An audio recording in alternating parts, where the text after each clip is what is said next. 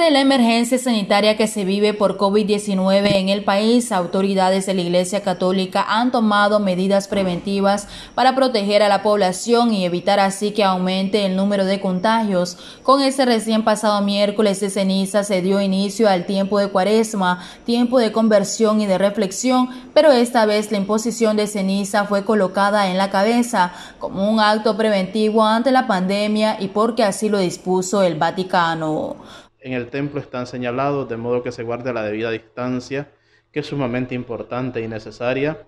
También el uso de las alfombras de la entrada, el uso del alcohol, el uso de lavado de manos, inclusive existe ahí un espacio para lavado de manos, y el uso de las mascarillas, más el uso del termómetro con el que se nos toma la temperatura para ver si estamos aptos o no para entrar.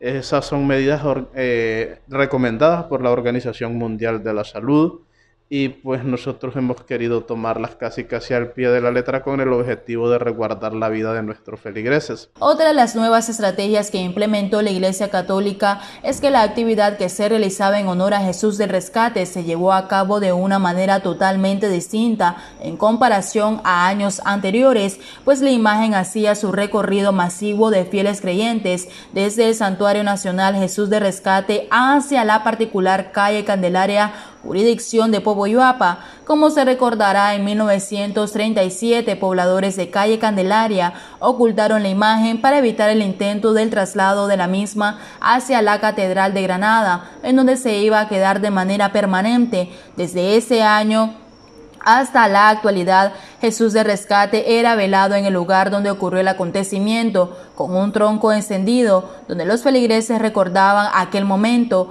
hasta que Jesús de Rescate regresa por la madrugada al Santuario Nacional. Este año se realizó la tradicional vela de Sagregrado dentro del Templo Nacional en honor a Jesús sacramentado, donde la imagen estuvo expuesta toda la noche. Muchas de las actividades religiosas se realizarán de forma virtual o de escucha por medio de la radio.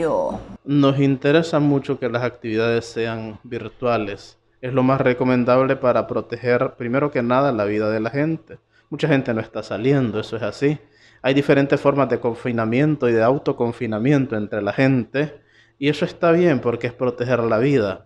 Desde horas muy tempranas, los fieles devotos ya hacían presencia en el Templo Santo de Jesús del Rescate, haciendo sus penitencias o dejando sus ofrendas como acto de agradecimiento por todos los milagros y los favores recibidos. Con colaboración del periodista Michael Zavallos, desde el departamento de Rivas, les informó Raquel Mena Morales.